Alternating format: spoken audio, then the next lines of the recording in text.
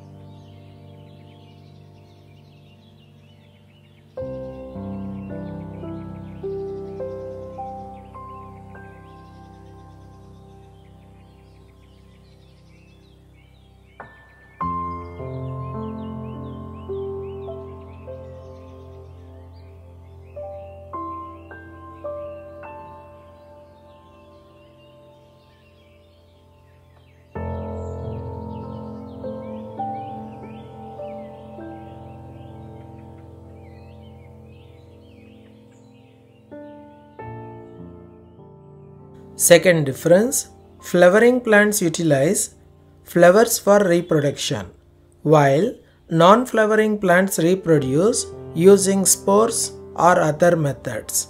Third difference flowering plants develop seeds or fruits, while non-flowering plants do not produce seeds or fruits.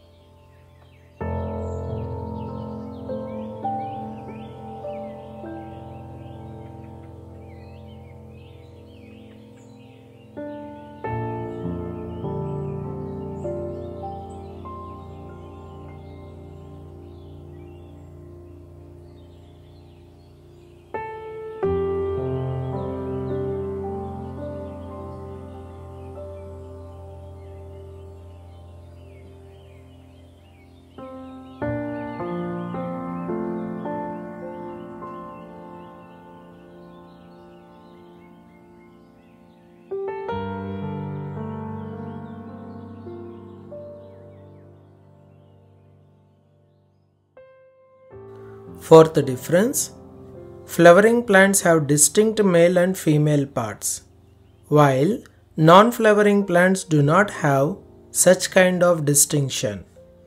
Last point, fifth one examples of flowering plants include roses and sunflowers, while ferns and mosses are examples of non flowering plants. Thanks for watching. Please do like the video and click the channel icon to subscribe.